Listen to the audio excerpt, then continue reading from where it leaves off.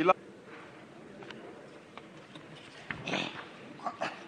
ಮಾನ್ಯ ಸಭಾಪತಿಗಳೇ, ಕೋಲಾರ ನಗರದ ದರ್ಗಾ ಮೊಹಲ್ಲಾದಲ್ಲಿರುವ ಸಮುದಾಯ ಆರೋಗ್ಯ ಕೇಂದ್ರವು ಕಳೆದ ಒಂದು ವರ್ಷದ ಹಿಂದೆ ಆರಂಭವಾಗಿರುವುದು ಸರಿಯಷ್ಟೇ.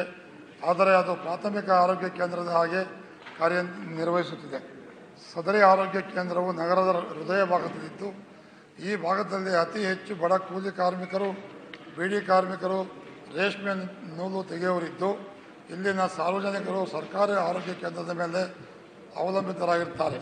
ಇಲ್ಲಿ ಕೇವಲ ಒಬ್ಬ ವೈದ್ಯ, ಒಬ್ಬೇ ಒಬ್ಬ ವೈದ್ಯಾಧಿಕಾರಿ ಇದ್ದು, ಇಲ್ಲಿ ಸ್ತ್ರೀರೋಗ ತಜ್ಞರು ಹಾಗೂ ಮಕ್ಕಳ ತಜ್ಞರನ್ನು ಇದುವರೆಗೂ ನೇಮಿಸಿರುವುದಿಲ್ಲ ಇಲ್ಲಿ ಸರಿಸುಮಾರು ತಿಂಗಳಿಗೆ ಐವತ್ತರಿಂದ ಅರವತ್ತುವರೆಗೂ ಹೆರಿಗೆಗಳಾಗುತ್ತಿದ್ದು, ಇಲ್ಲಿ ಯಾವುದೇ ಮೂಲಭೂತ ಸೌಕರ್ಯಗಳಿಲ್ಲದೆ ಇರುವುದರಿಂದ ಕಷ್ಟವಾಗುತ್ತಿದ್ದು ಹಾಗೂ ಸಿಸೇರಿಯನ್ ಶಸ್ತ್ರಚಿಕಿತ್ಸೆಗೆ ಒಳಪಡುವ ಗರ್ಭಿಣಿಯರಿಗೆ ಜಿಲ್ಲಾಸ್ಪತ್ರೆ ಮತ್ತು ಜಾಲಕ ಜಾಲಪ್ಪ ಆಸ್ಪತ್ರೆಗೆ ಕಳುಹಿಸಿಕೊಡಲಾಗುತ್ತಿದೆ ಇದರಿಂದ ಬಡವರಿಗೆ ಹಾಗೂ ಇಲ್ಲಿನ ಅಲ್ಪಸಂಖ್ಯಾತ ಸಮುದಾಯಕ್ಕೆ ತುಂಬ ಕಷ್ಟಕರವಾಗಿರುತ್ತದೆ.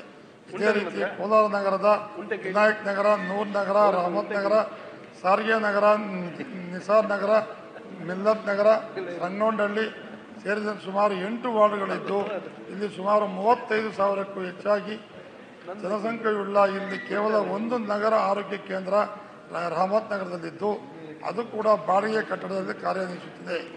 ಇದರಿಂದ ಜನಸಾಮಾನ್ಯರಿಗೆ ಯಾವುದೇ ಪ್ರಯೋಜನವಾಗುತ್ತಿಲ್ಲ. ಆದ್ದರಿಂದ ಇಲ್ಲಿ ಕೂಡಲೇ ಒಂದು ಸಮುದಾಯ ಆರೋಗ್ಯ ಕೇಂದ್ರವನ್ನು ಸ್ಥಾಪಿಸಿ, ಎಲ್ಲ ಮೂಲಭೂತ ಸೌಲಭ್ಯಗಳನ್ನು ನೀಡಿ, ತಕ್ಷಣದಿಂದ ಜಾರಿಗೆ ಬರುವಂತೆ ಕಾರ್ಯಾರಂಭ ಮಾಡಬೇಕೆಂದು ಮಾನ್ಯ ಆರೋಗ್ಯ ಮತ್ತು ಕುಟುಂಬ ಕಲ್ಯಾಣ ಸಚಿವರಲ್ಲಿ ವಿನಂತಿಸಿಕೊಳ್ಳುತ್ತೇನೆ.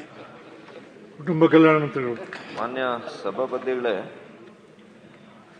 ಮಾನ್ಯ ಸದಸ್ಯರು ಎತ್ತಿರ್ತಕ್ಕಂಥ ಶೂನ್ಯ ವೇಳೆಯ